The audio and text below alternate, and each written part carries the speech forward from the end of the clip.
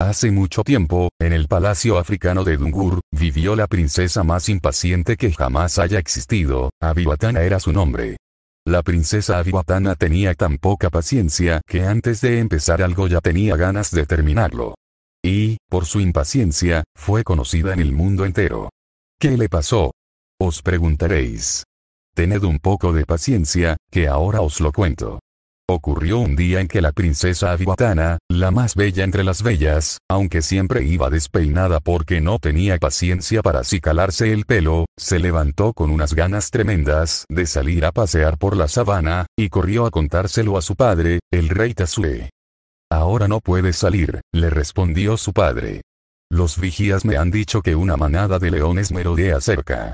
Debes esperar a que se vayan. Esperar exclamó Abiwatana, ¿cuánto? No puedo esperar más.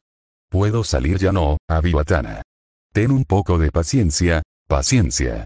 ¿Y por qué no los echas? Tú eres el rey. Hija. exclamó el rey. No voy a molestar a los leones por un capricho. ¿Acaso te gustaría que te echaran a ti de palacio? Pero Abiwatana, presa de su impaciencia, ni se molestó en contestarle. ¡Qué rabia!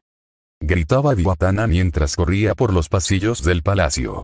Cuanto más lo pienso, más ganas tengo de salir a pasear por la sabana, desesperada por encontrar una solución fue en busca de Besebasen, el brujo de la corte. Besebasen conocía a la princesa desde que era una niña y nunca le negaba ningún capricho. Besebasen. Lo llamó, entrando en sus aposentos. Tienes que ayudarme.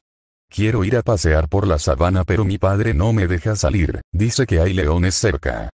Pero, princesa, le respondió Besebasen, si el rey no quiere que salgáis, yo no puedo hacer nada. Abiwatana, que sabía muy bien cómo convencer al brujo, usó su infalible mirada de pena. Por falta de paciencia, la sostuvo apenas un segundo, pero fue suficiente para convencerlo. Está bien, veamos, refunfuñó. Date prisa replicó la princesa Besebasen repasó con la mirada los estantes donde guardaba sus pócimas mágicas y los ojos se le iluminaron cuando dio con un frasco viejo y polvoriento. Me parece que ya lo tengo, murmuró. Tal vez si usaras esta pócima, esta pócima. Preguntó la princesa, quitándole el frasco. Estupendo. Muchas gracias. Y entre gritos de alegría y agradecimiento, Abiwatana se alejó corriendo hacia la puerta del palacio. Por fin. exclamó una vez afuera, qué ganas tenía de salir. Aunque, pensándolo bien, ya estoy un poco cansada de ver siempre el mismo paisaje. ¿Es que no piensa cambiar nunca? Vamos, flores, a florecer, ¿qué estáis esperando? La princesa estaba tan distraída intentando que la naturaleza hiciera florecer la sabana que no advirtió el peligro que se le avecinaba. Los leones gritó de repente, al verse rodeada por las fieras. Los rugidos eran tan aterradores que Abiwatana empezó a temblar de miedo. Pero, entonces, se acordó del frasco que le había entregado el brujo y se tranquilizó. Ha llegado el momento de probar la pócima de Besebasen, se dijo, bebiendo del frasco. Fue entonces cuando se dio cuenta de que, debido a su impaciencia, no había dejado que el brujo le explicara para qué y cómo se utilizaba la pócima la transformaría en un gigante. La haría invisible. E impaciente por conocer cómo le afectaría la pócima, empezó a tamborilear con el pie en el suelo. De repente, los leones la miraron con cara de asombro. ¿Qué pasa? se preguntó la princesa, tocándose la cabeza. Oh, no. El pelo le estaba creciendo sin control. Abiwatana. Escuchó a sus espaldas. Era el brujo Besebasen, que se acercaba corriendo. Me lo temía, se lamentó al ver a la princesa en ese estado.